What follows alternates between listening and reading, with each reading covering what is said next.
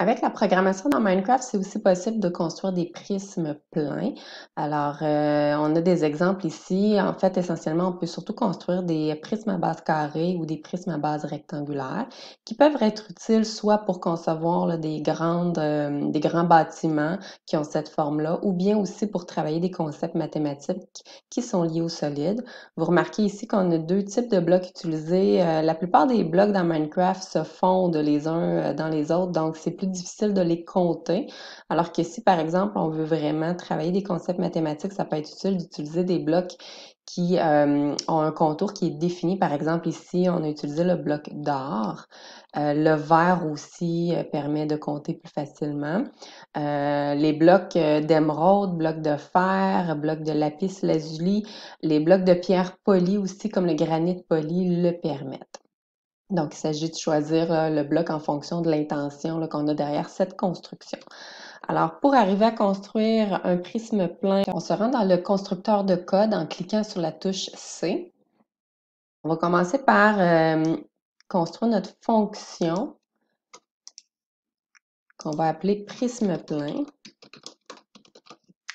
qui va contenir euh, trois paramètres qui sont des nombres. Le premier, on peut l'appeler longueur, L-O-N-G. Ensuite, hauteur. Et euh, finalement, largeur pour vraiment respecter les coordonnées X, Y, Z dans Minecraft. Ensuite, euh, bien sûr, c'est toujours utile de déplacer notre constructeur euh, un tout petit peu, de le téléporter euh, afin que la construction ne se fasse pas directement sur lui. Donc, par exemple, 10, 0, 10.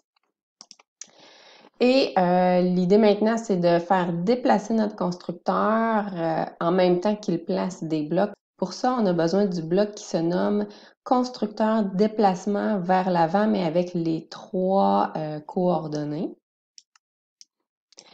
Et on a aussi besoin du bloc qui se nomme constructeur remplissage à partir de la marque avec un certain type de bloc.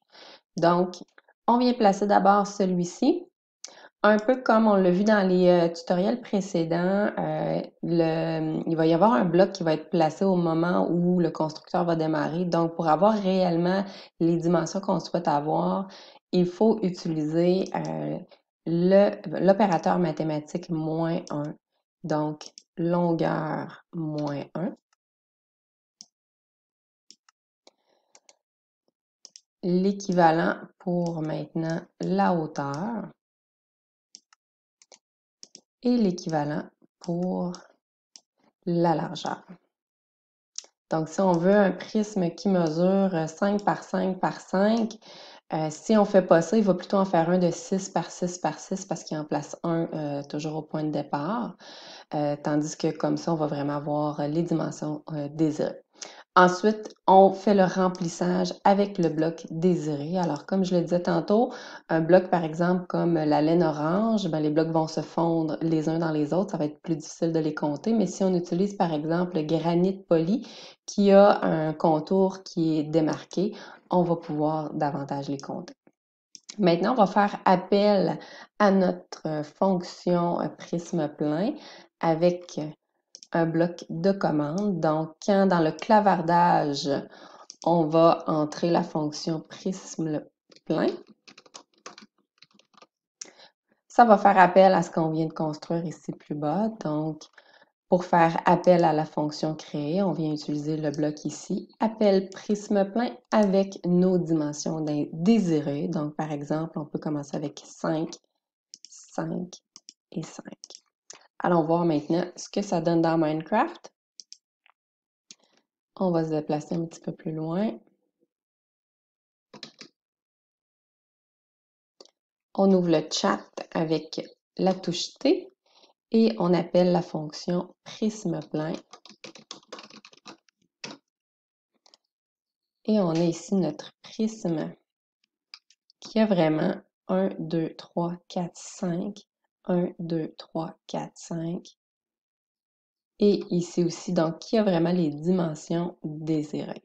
Alors, vous voyez ici, le bloc utilisé permet vraiment de bien compter euh, euh, chacun des blocs sur les surfaces de notre construction. Si on revient dans le constructeur de code avec la touche C, ben, on peut facilement ensuite modifier les dimensions. Alors, euh, par exemple, 6, 10 et 6. On peut aussi modifier la nature de notre bloc de construction. Par exemple, je vais prendre euh, le bloc d'or qui lui aussi est défini sur ses contours. On ouvre le chat, on fait appel à la fonction prisme plein. Et on a notre nouvelle construction avec les nouvelles dimensions désirées. Alors voilà pour euh, la programmation d'un prisme plein avec le constructeur de code de Minecraft.